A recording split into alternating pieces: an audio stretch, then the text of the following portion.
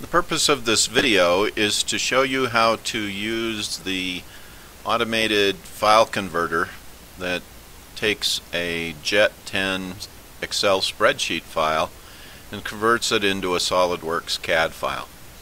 The first thing you have to do is get the shortcut to the file converter from the K drive.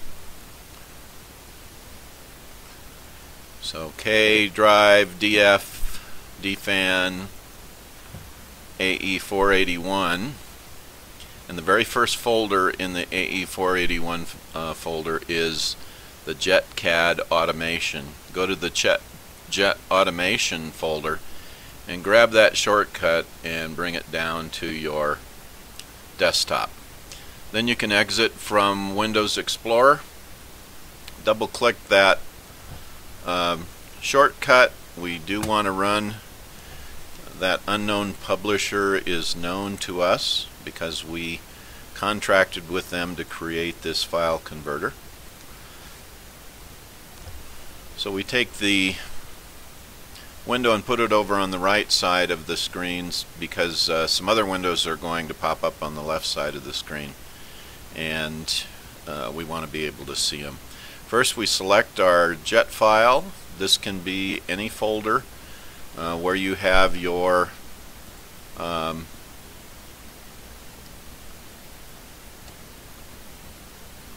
jet files stored, the ones you've been working on for the uh, for DID 3, the one that you like the best and want to cr create into a CAD file.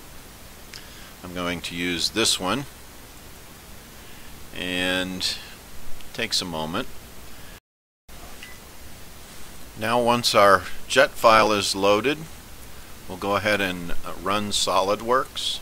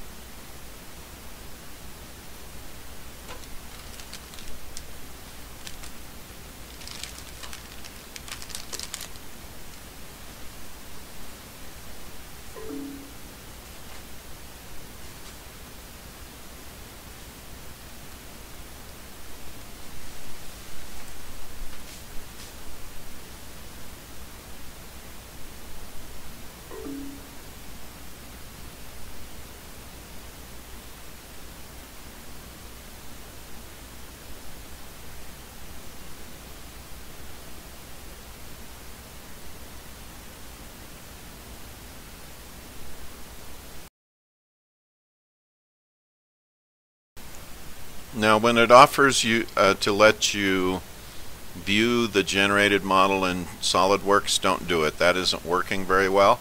Much easier to open SOLIDWORKS. So just say no and then you can X out of the converter window and open up SOLIDWORKS.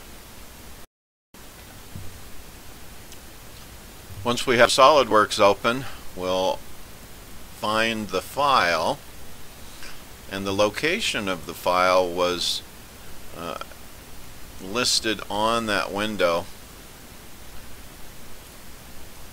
And if you don't remember it I'll show you where it is. It will always be on the C drive unless you direct it somewhere else in the SOLIDWORKS data folder in uh, curve data model and it'll be the jet model. It'll always be named that. Um, you can open the solid part the SolidWorks solid part file but when you do it will have all of the defaults all of the preferences that the of the person who uh, wrote the software. And I don't like his preferences and so I'd rather have my own preferences which are already set up in my SolidWorks so if I load the step file, it will uh, load, it's the same geometry, and it has all of my preferences set in SOLIDWORKS. Likewise, if you are using Fusion, you want to load the step file into Fusion and it'll load right in and you can be able to edit it there. So I'm going to open that step file.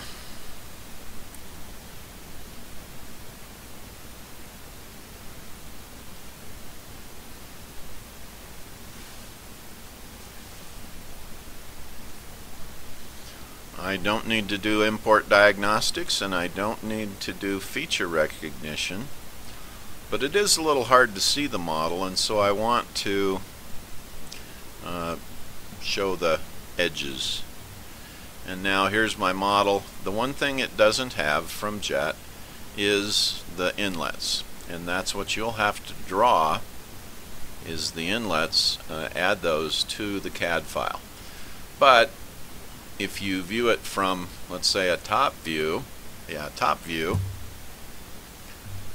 or if you look at it from a three-quarter view, you can't see the inlets anyhow, and you can use those images, capture those images by hitting print screen, use those images in your uh, presentations.